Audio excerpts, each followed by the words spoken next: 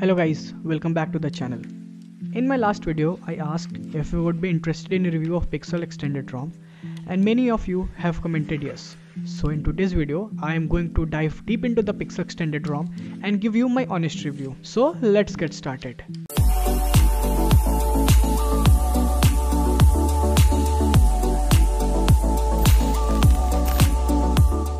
First of all, you can check this is the build number which I am using now we'll start with the normal. First is the realme settings. As you can see we have all these options. The force 90 hertz the dc dimming the high brightness mode the srgb mode the usb and also we have the dolby atmos. Now if we go above you can see we have pe extension option.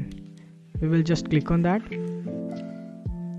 And as you can see we have lots of customization option for the status bar for the lock screen for the system and for the hardware option. As you can see, if you go to the lock screen option, we have this UD FPS customization, which is under display fingerprint scanner customization.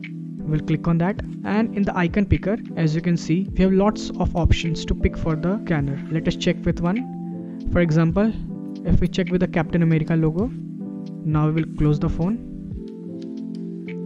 Now if I turn on the phone, as you can see, we have that logo other than that we have UDFPS animation. We will just turn it on.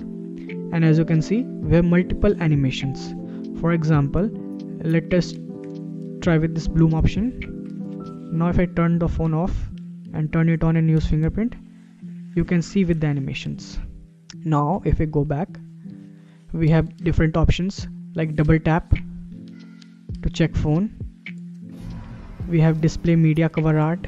We have the pulse other than that we have the ripple effect if we unlock with the fingerprint.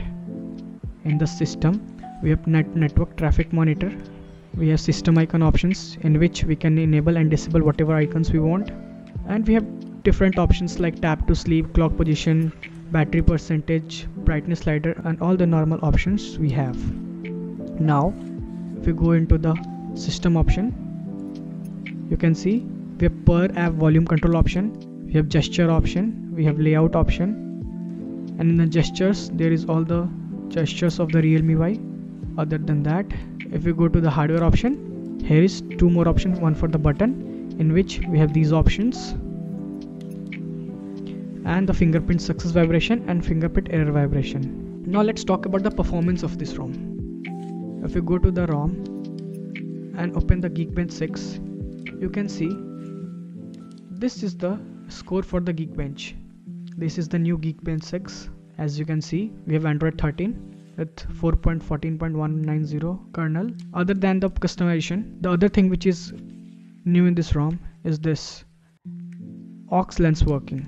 As you can see, we are on the main camera. If we want, we can switch to the ultra wide lens and we can also switch to the 2x lens. Every lens is working perfectly fine. We click the photo in the video option web 0.6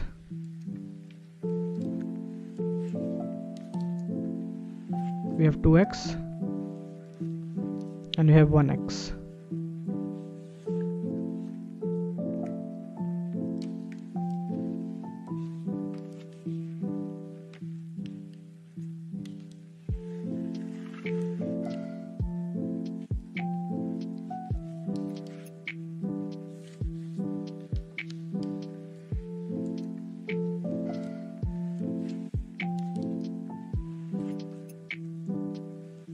as you can see all the lenses are work in videos too.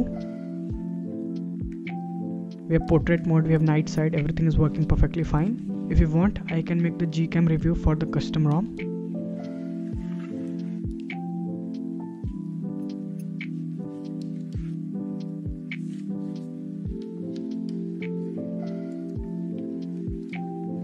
I'm also planning to do a comparison video between iPhone 12 and custom ROM Gcam and a Realme iCam. If you want that video, you can comment down below.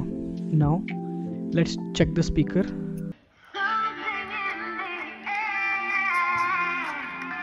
As you can see, we have the stereo speaker working.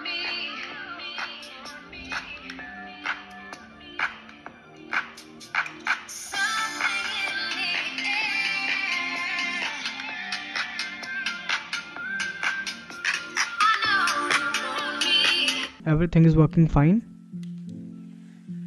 And for the banking apps other than the SBI YONO every app is working perfectly fine. Now let's check the temperature of this device.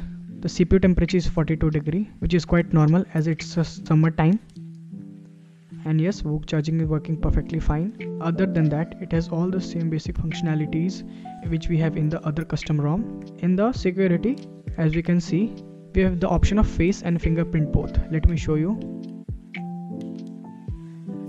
as you can see face lock is working perfectly fine.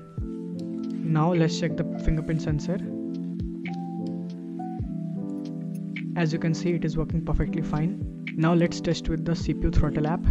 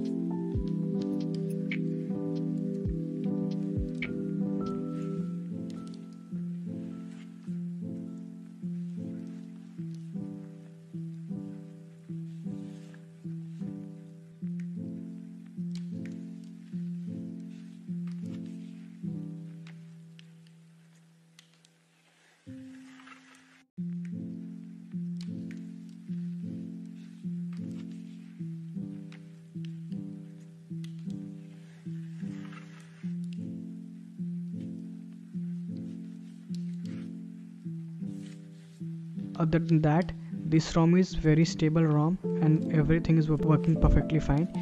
And if there is any bug if you find any bug you can just report to our channel with a proper log. And other than that if you have any issue you can comment down below. Now if you have any question regarding this ROM you can ask in the comments down below and I will try to answer that. And to know how to install this ROM I've just uploaded a video how to install the custom ROM based on Realme 2 firmware. As this ROM is based on Realme 2 firmware you need to follow that process for that the video link is in the description or in the i button. You can check out from there. And with that process you can install this rom and enjoy. And if you have any other queries related to this you can comment down below. And if you want a gcam comparison from the custom rom and iphone 12 comparison you can comment down below. Thank you guys